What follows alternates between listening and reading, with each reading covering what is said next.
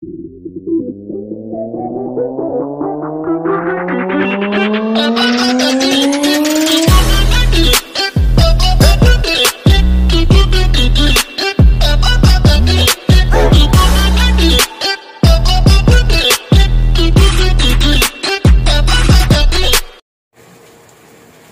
tayo, sanyo.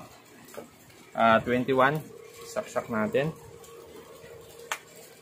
Ayun, ilaw siya. Ayun, sumindi siya. Pero wala siyang picture. Sumindi siya. Ayun tayo pa tayo. Okay, wala pa rin. So, wala. Madilim. Ah, bubunutin ko ha. Tingnan nyo, bubunutin ko kung may lalabas na display. Yun, kumukurap. Ibig sabihin, bubukas siya pero walang display. Buksan natin. Nabuksan na natin yung unit. Ah, gagawin natin, saksak natin ulit. Titingnan natin kung bakit madilim. Walang liwanag yung tube. Yan, yan, naka-power na siya. So,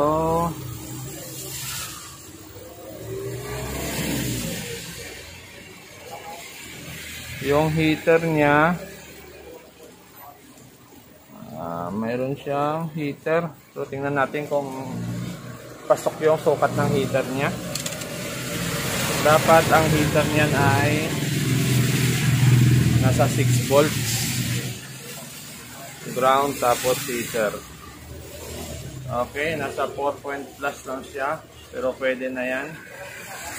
Pero bakit walang picture hindi naman siya namamatay, pero wala siyang picture, oh, madilim. Ngayon, titingnan ngayon natin yung raise natin 250. Titingnan natin yung supply ng blue. Blue niya, ganyan. Tapos, yung red. Ganun din. Tapos, yung green. Okay.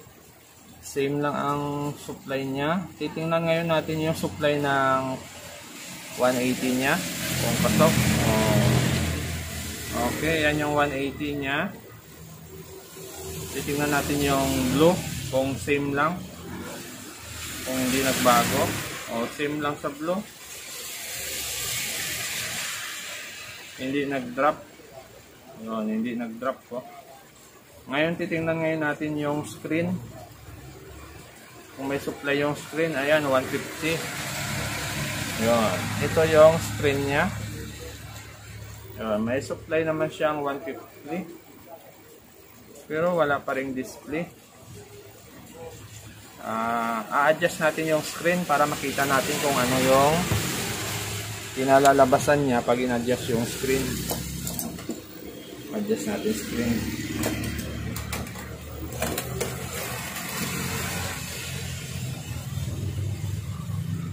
Yun. Pag in-adjust yung screen, ganyan lang siya. Pag hininaan mo, wala rin. Pag tinasan mo, ganyan siya. Yun. Yan yung sira niya. Walang display. Ah, mayroon siya. Blue. Ayun.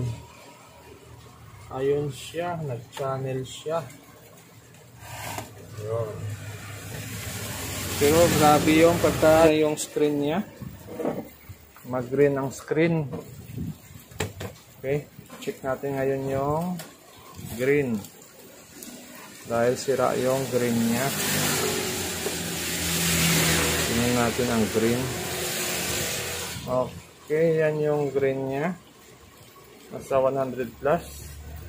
Yung red. Mataas ang red. Ang blue. Mataas din. So, ngayon, ang green ngayon ang nagda-drop. Uh, check natin to. Bali, lilinisin natin yan. Tingnan natin kung bakit iba ang supply ng green niya. Ito, bali, tinanggal natin yung green natin. Ito. Yung green niya, ito, circuit niya. Ayan. Tapos sinanggal natin yung transistor. Uh, testing ngayon natin kung tataas yung supply nitong green na to. Tingnan natin kung tataas siya. Okay, sinaksak ko lang siya. Titingnan natin kung tataas. Kasi wala na siyang transistor. Dapat tumaas ang supply nito. So, ayun, tumaas siya. Oh. Tumaas siya. Ah, Blurred. Okay, tingnan natin yung red. Yung red niya. Okay, same. Yung blue. Okay, same din. Tingnan natin yung screen kung mayroon yung guwit-guwit siya. Yan o, guwit-guwit. Yan. Yung sira ang kulay.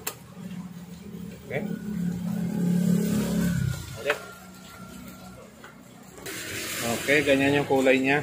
Talagang ma-green na siya. Pero pag ginagalaw yung CRT niya, nagno-normal siya. oh.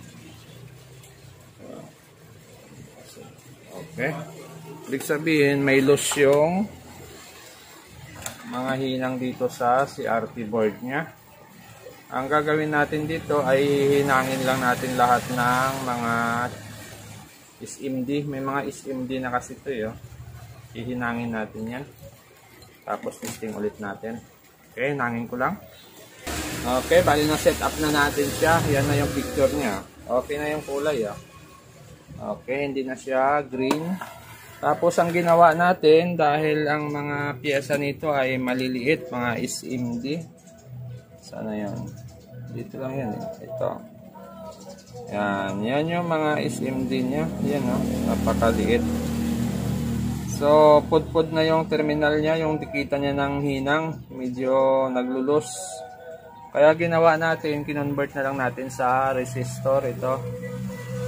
Yan. Lahat pinalitan na natin yung supply ng base niya. Ah, yung kinabit ko lang ay 220, 220 ohms.